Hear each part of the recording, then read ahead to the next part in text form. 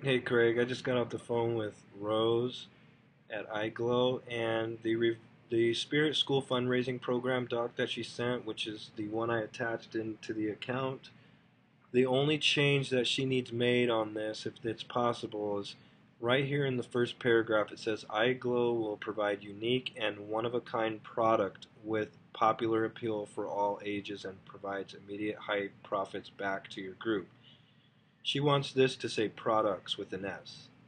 So if we can just add an S to that, we're done with this uh, part of what she wants on the Facebook or on the uh, website. If you have any questions, let me know.